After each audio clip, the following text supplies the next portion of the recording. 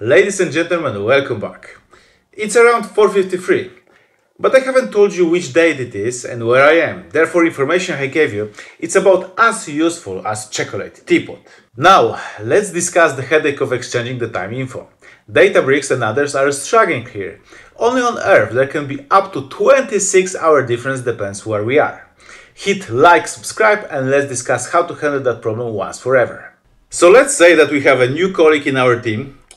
She just joined us, it's her first day in the office and very happy person. She have very simple task, at least that's how it looks like. She needs to combine a data coming from the different units. The data about, let's say, sales, cybersecurity, doesn't matter. She need to combine some events coming from the different location. We are working in international organization, so we have three location, Paris, let's say Egypt, and uh, let it be Sydney. From all those locations, she's having the getting the information about the events in the local timestamp. So she gets some sort of the date plus the time, and time, of course, uh, 1 to 12 a.m., either in 1 to 12 p.m., and the same from Egypt, 1 to 12 a.m., 1 to 12 p.m. and of course from Sydney everyone really helpful everyone collecting picking picking up and sending her a data in the local timestamp everyone really wanna help her so she just need to compare to figure out what was the total number of events happening on some specific hours globally she, she needs to just compare let's say 6 p.m. is eh, 6 6 p.m. in Paris so this is like 6 p.m. in Paris. She need to compare with the right hour in Egypt. And she is clever. She already knows that there is such things like a time zones. So she don't take a 6 p.m. in Egypt. She takes a 7 p.m. in Egypt. Now, when it's going about Sydney, she check it and she know that there is a nine hours difference between Egypt and Sydney. So she is taking, if I'm counting right, 4 a.m. So not only different hour but also different day. And so far so good. There is a couple more locations but she already figured out that it's not so complex. She can write that logic to figure out which hour in paris is the same as in texas sydney great britain whatever else. It's somehow difficult but it's not a mission impossible. So she have really good time and she enjoyed her first time. Until until she realized that there is such a thing like a daylight saving time, meaning once a year we are changing our clocks from the time which we considered as standard to daylight saving time. So in at least in my location, I'm moving a clock from 2 to 3 at the end of the March. So now when I'm taking a 6 p.m. in Paris before the time change, now I need to take a 7 p.m. But what about the Egypt? Well, it happens that the Egypt is also changing uh, clocks, just a different month. It's also switching from 2 to 3, but not in March, but in April. So for, for one month, she need to still take a 7 p.m. One month later, in April, she will need to start 8 p- to take 8 p.m., but right now 7. What about Sydney? Well, of course, everyone knows that Australia depends on the region, have a different rule about the, uh, depends on the changing the time. And when it's going about the Sydney, it's in the location where you don't change the time from standard to daylight saving time, so you continue continue taking 4 a.m. Looking at that globally, she stops smiling very quickly. Fortunately, some people have figured out that no, we cannot keep events in the local timestamp. It's just too complex. Even, even, even if I manage to build that complex logic of combining which timestamp to compare which with one, it just falls apart where there is a change in the time. So we cannot continue do that. We need to start talking one language. And what is commonly considered as the standard is to talk in the timestamp, which for sure you have seen, which look like a, you have a year, then you have a month, then you have a date, date, then you have the information that you will now talk about the timestamp. You are going to have hours, minutes, small capital, I don't remember, and at the end you are going to have Z. Z stands for, of course, everyone know Zulu. Nobody knows that, I'm just joking, or very few people knows that, because why to bother with such things? But this is actually important. The timestamp given with the information that this is Zulu, this is equivalent to the timestamp given in the UTC, Universal Time Coordinated. This is a standard way of talking about the time around the world. So every time we see a timestamp with the Z at the end, we at least know which timestamp we know. And if we would receive the same from all the units, from all the organizations around the world, we would be good, yes? No, we would be better, but let's look on that.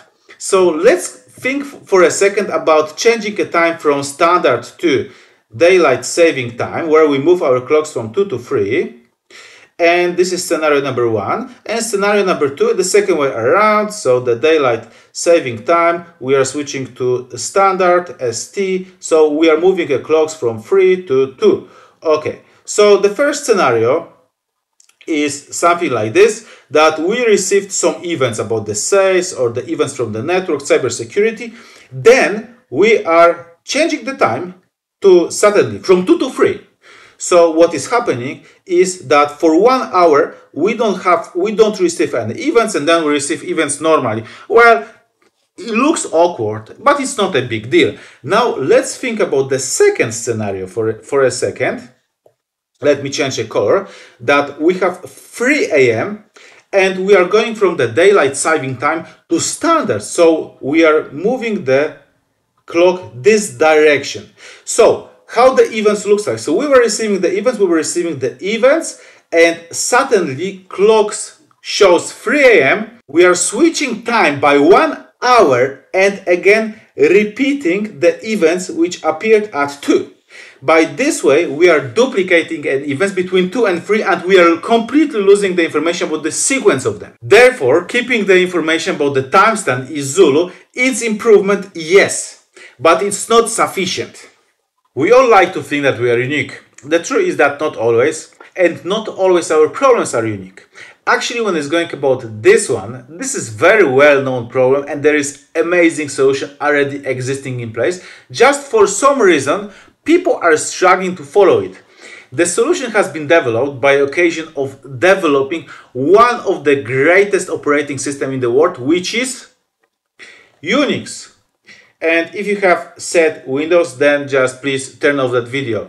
So, the ladies and gentlemen working on developing Unix, what they have figured out that instead of using local time zone, in, you know, you can imagine all those machines around the world, which have a need of synchronizing the time. And what they basically said that trying to do that in local time zone, this is crazy. It's almost mission impossible always something will go wrong. If not today, then tomorrow some country will decide to change the information about the time zones or they will stop switching the time. It's just impossible. Zulu, better, but again, it's not sustainable. And instead of that, what they have figured out, what the idea is that there is special moment in time, which is 1st of January 1970 in the time zone which is called UTC, which is Universal Time Coordinated, which is a basic time, time zone in the world. You can read about it in the Wikipedia. And the idea is that something what is called Unix time should always show you number of seconds between now, no matter where you are. This is the time zone independent and this Unix epoch. So this very special moment in time.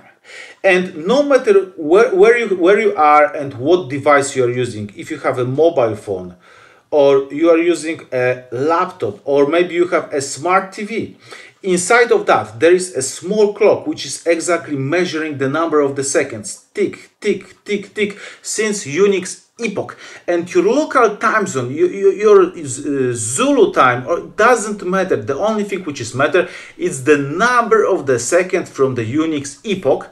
I'm sure that you saw that number multiple times and you could thought in the past why somebody would save a thousand in exactly that format. That's exactly why that's exactly why to make everyone 100% sure what time it is. Therefore, next time, once you will see such a number in the database, don't be, not, don't be mad on the person designing the database.